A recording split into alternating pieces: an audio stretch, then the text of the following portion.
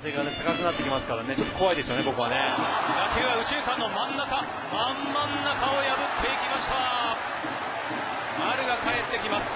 そして秋広も一気に帰ってきた。ジャイアンツ4番の岡本2点タイムリーツーベース。ジャイアンツが2点先行。2対0今日も岡本4番のバッティングです。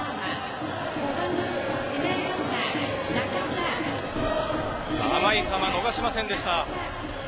まあ、スライダーですけどねバッテリーからしたらこう引っ掛けさせて、はい、まあ、ゲッツーっていうね。今日は第1打席で先制の2点タイムリーツーベース。今度は打球はレフトスタンド。ジャイアンツの4番岡本。スタンドまで持っていきました。今シーズンの第12号ソロホームラン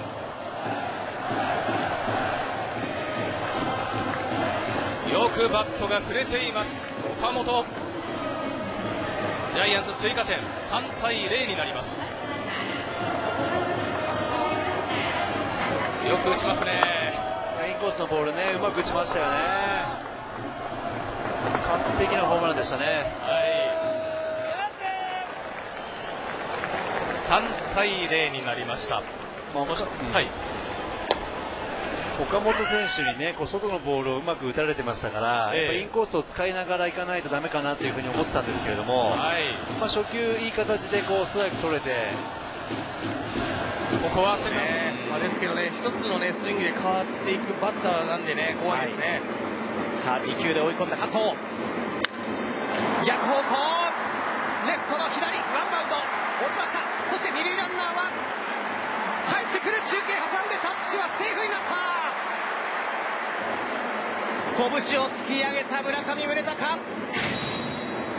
先制したのはスワローズ。リクエストが出ましたねリクエストが出ましたね。ボールちょっと高めに行きましたか。フォークボールが浮きましたね、えー、今青木選手もちょっと迷ったんでねホームでさせそうだったんですけどね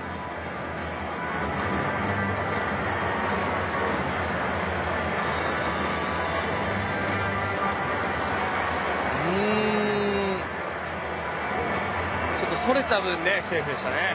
はいセーフになりました。さあ村上のタイムリーヒットでスワローズが1点を先制。逆方向鋭い打球。そのままスタンドに飛び込んだ。村上宗隆今シーズン第10号。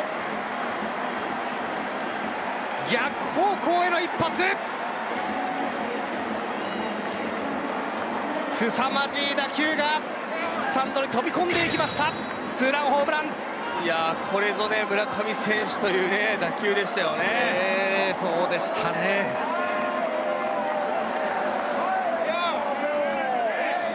反対方向に引っ張ったような打球が飛んでいきました。しっかりと踏み込んでねおそらくこうバッティング練習中にねこれぐらいの距離だっていうのをね掴んでますのでね反対方向でも入るっていうね感じで今打ちいったと思いますよ、えー、しかもライナー性の打球。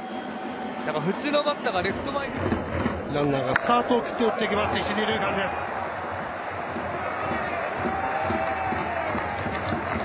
牧ヒットワンアウトランナー三塁一塁。これはもううまく右方向に持っていきました、はい、このねピッチャー返しはこれもヒットになった。ランナー2人帰ってきますリード広げますベイスターズ。8対1です。牧にもタイムリーヒットが出ました。2点タイムリーになってこれで8対1になりました。あここで石井監督出ます。まあそうですね。タイムリーをライトの前にきっちり運んでいきます。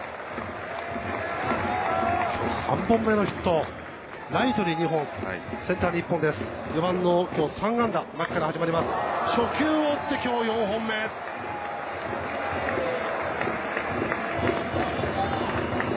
これも哲平さん。引っ張らないヒット、うん、センターへ返していきました。ちょうどね一昨日ホームラン打ちましたよね。